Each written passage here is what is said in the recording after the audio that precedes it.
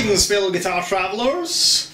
It's Rowan J. Parker here, and we're back with Mr. Pat Wright for some more insane, pointless, and possibly totally unmusical improvisation, because that's how we like it. My speciality. Indeed. So, um, what we're going to do is we're going to stick on a little backing track over a static A minor 6 chord, over which we're going to play Dorian and uh, melodic minor. This is A, I should say. A Dorian, A melodic minor. And I will do some controversial whole tone stuff and possibly some other melodic minor stuff. So it starts sounding super weird. You know, that's where I've, you know, departed. The train has left the station. We're on to Outsidesville. Alright, so that's what we're going to do. Beyond the music. Indeed. To infinity and beyond. Beyond all sense of tonality, melody, musicality. This is how we like it. Alright, it's time to, well, not rock, but uh, I suppose it's time to outside jazz.